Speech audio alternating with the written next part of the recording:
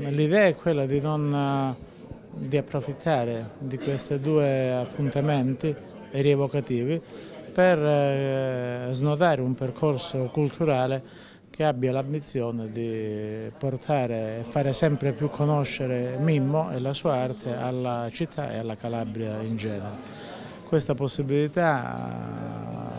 viene offerta anche non solo dai due eventi rievocativi ma anche dalla volontà dell'amministrazione comunale di Catanzaro di eh, affiancarci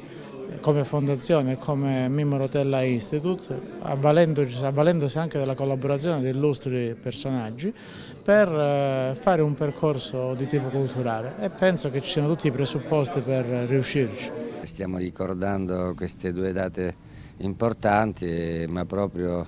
per questo motivo non vorremmo che solo durante queste ricorrenze si parlasse di Mimmo Rotella, dobbiamo farlo conoscere meglio alla città perché è un artista conosciuto in tutto il mondo, eh, addirittura stanno per organizzare delle mostre in Russia, in America ed è assurdo che ancora parte della città non conosca questo grande artista. Ormai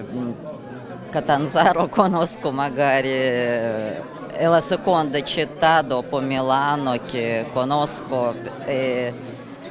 da tanti anni che vengo, venivamo sempre, Mimo era molto legato con la mamma, quindi venivamo anche per Natale, Capodanno, Pasqua, e quindi